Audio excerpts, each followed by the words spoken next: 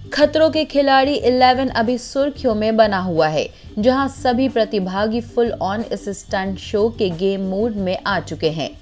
अब तक सभी प्रतिभागियों के कई पिक्चर्स और वीडियोस इंटरनेट पर लीक हो चुके हैं, जो सोशल मीडिया पर धमाल मचा रहा है। वहीं अब तक इस सीज़न के प्रोमो शूटिंग के पिक्चर्स और वीडियो से फैंस का मनोरंजन हो रहा था। तो वहीं अब खतरों के खिलाड़ी 11 के दो एलिमिनेटेड कंटेस्टेंट्स के नाम भी आ चुके हैं। सबसे पहले विशाल आदित्य सिंह का नाम फ़र्स्ट एलिमिनेशन में आया। और अब निक्की तंबोली का नाम भी सेकंड एलिमिनेशन में सुनने में आ रहा है। इसके अलावा खतरों के खिलाड़ी 11 में वाइल्ड कार्ड के तौर पर एंट्री लेने वाले प्रतिभागियों के नाम भी अभी चर्चा में है।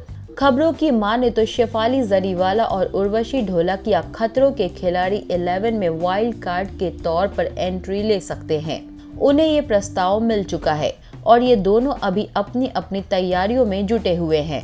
इसके अलावा दुनिया भर में कोरोना के बढ़ते मामलों को देखते हुए मेकर्स ने खतरों के खिलाड़ी 11 की शूटिंग जल्द से जल्द खत्म करके वापस लौटने का फैसला किया है। इस कारण खतरों के खिलाड़ी 11 12 एपिसोड में ही खत्म कर दिया जाएगा।